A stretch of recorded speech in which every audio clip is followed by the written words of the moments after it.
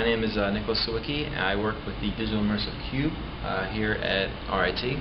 I'm a uh, information security and forensics major. I'm changing to multidisciplinary studies though, but I'm still going to be at RIT, and this is one of the projects I work on with the uh, Insight Lab.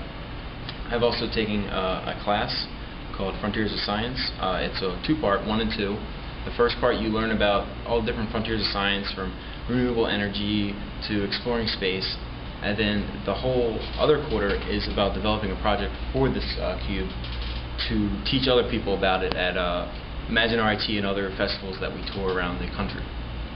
So uh, the Digital Immersive Cube, or the Cube, Science Cube is what we call it, is just a 6x6 um, cube with a projector fabric around it, and there's projectors on each side, and they're all hooked up through VGA cables to a small uh, shuttle computer with a decent video card that can handle a uh, large horizontal display. And what we're showing right now is uh, Celestia. It's a free program that you can download and we just retrofitted it for the cube so that it would span across the whole cube and at 90 degrees at each side so that you were in like a in a 3D universe. Uh, right now it's going to show the stars. Uh, we use it for um, Girl Scout overnights to teach um, the Girl Scouts about the, the stars, you know, how to find the North Star. You can do the Little Dipper, find your way back from home and all that good stuff. But uh, to, to really get a, a good sense of it, we have to go inside. So I'm going to show you another project, which is the monkey brain.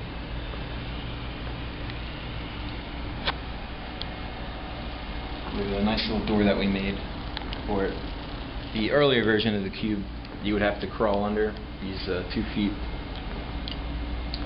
uh, areas over here, and it was kind of harder for the um, older people, so we developed the door. And this is the monkey brain. It is based off a 3D image of a uh, monkey's brain that a medical student did, and we uh, took that and made it into a video fly-through so that the um, computer could handle that. And it's just a scripted run-through of an exact replica of a monkey's brain. You can see the blue stuff is the dark matter and the, the white matter is the tannish color.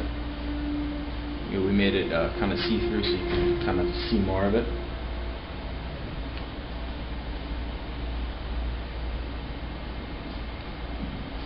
Now, as you can see,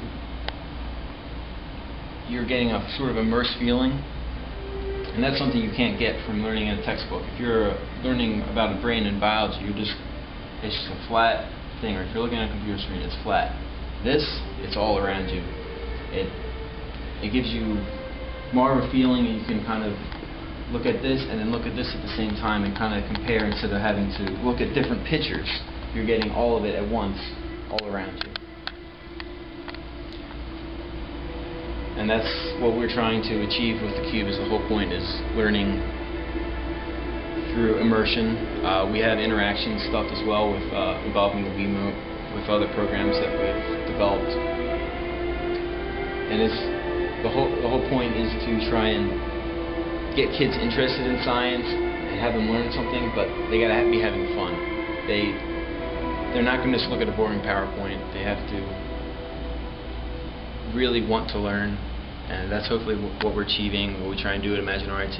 If you want to learn more, please check us out at insight.cis.rit.edu.